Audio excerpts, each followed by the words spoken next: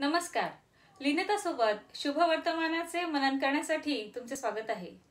आज सोळा फेब्रुवारी दोन हजार एकवीस आणि आजचे वाचन घेतलेले आहे मार्क लिखित शुभ वर्तमानातून अध्याय आठवा चौदा ते एकवीस मधून.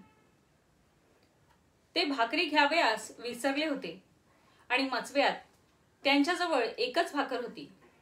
मग त्याने त्यास निक्षून सांगितले की सांभाळा.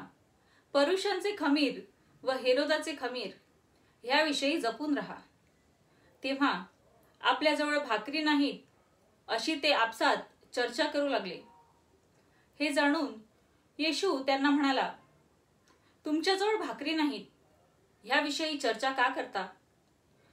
तुम्ही अजून ध्यानात आणीत नाही व समजतही नाहीत काय? तुमचे अंतःकरण कठीण झाले आहे काय? डोळे असून तुम्हाला दिसत नाही काय? तुम्हाला आठवत नाही काय? मी पाच हजार लोकांना पाच भाकरी मोडून वाटून दिल्या. तेव्हा तुम्ही तुकड्यांच्या किती टोपल्या भरून घेतल्या? ते त्याला म्हणाले बारा. तसेच चार हजारांसाठी सात भाकरी मोडल्या. तेव्हा तुम्ही किती पाट्या तुकडे भरून घेतले? ते म्हणाले सात. तेव्हा तो त्यांना म्हणाला अजून तुम्हाला समजत नाही काय? हा प्रभूचा शब्द आहे. काही दिवसांपूर्वी येशू काय शिकवण्याचा प्रयत्न करत होता हे प्रेषितांना समजले नाही. हे आपण एका मननामध्ये ऐकले होते.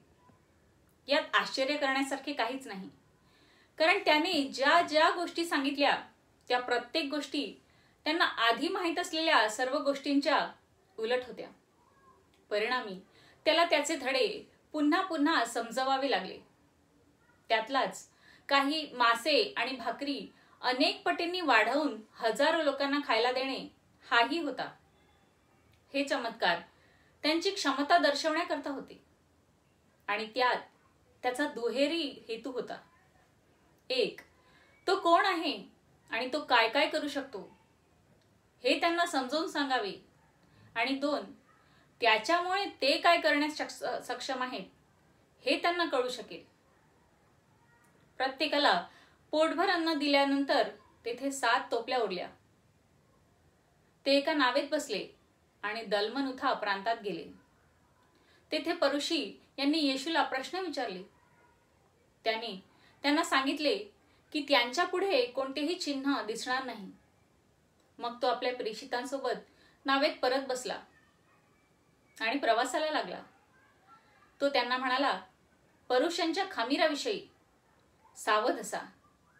परुषांच्या शिकवणी ऐकणाऱ्या लोकांना म्हणजे श्रोत्यांना त्यांची शिकवणी कशी भ्रष्ट करते याविषयी तो सावध करत होता. तरीही प्रेषितांना मुद्दा कळला नाही. ते एकमेकांना म्हणाले आपल्याजवळ भाकरी नाहीत म्हणून तो तसं बोलतोय. येशू आश्चर्यचकित होऊन मान हलवण्याची कल्पना करू शकता. भाकरी नसल्याबद्दल तुम्ही का बोलता? त्याने विचारले. तुम्हाला अजूनही दिसत नाही की समजत नाही. अर्थातच नाही. आणि धडे येथे प्रामाणिकपणे सुरू होतात. तुमची अंतकरणे कठीण झाली आहेत काय? त्याने विचारले. प्रेषितांची ही हीच समस्या होती. कठोर हृदय आपल्याला आध्यात्मिक सत्य समजून घेण्याच्या मार्गात येते. चर्चमधील प्रवचन शेकडो लोक ऐकतात. प्रवचन प्रत्येकासाठी सारखेच आहे. पण प्रत्येकाला त्यातील सत्य सारखेच समजेल असे नाही. येशूने नंतर असेही म्हटले आहे जरी ते पाहतात तरी त्यांना दिसत नाही. जरी ते ऐकतात तरी त्यांना कळत नाही. तर मग हृदय कठोर होण्याचं दगडासारखं होण्याचं काय कारण आहे? मानवी मन हे व्यक्तिमत्वाचं केंद्रस्थान मानलं जातं. आणि आपल्या मनात अशा गोष्टी तयार होतात ज्या आपण सामान्यतः स्वतःला इतरांशी आणि ईश्वराशी जोडण्यात मदत करतात. तर हृदयाला काय कठोर करत असेल? कशामुळे ते दगडासारखं होत असेल? कधी पाप तर कधी अभिमान. कधी अडचणी तर कधी निराशा. मग यावर औषध काय आहे?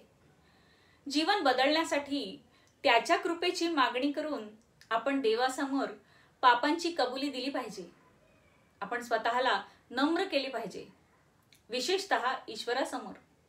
आणि आपल्याला येणाऱ्या अडचणी आणि निराशा आपले चरित्र अजून सुंदर आणखी चांगले करण्यासाठी वापरायला पाहिजे. ते नष्ट करण्यासाठी नाही. रोमन्स पाच तीन ते पाच मध्ये हे कसे कर, करायचे हे तुम्हाला कळेल.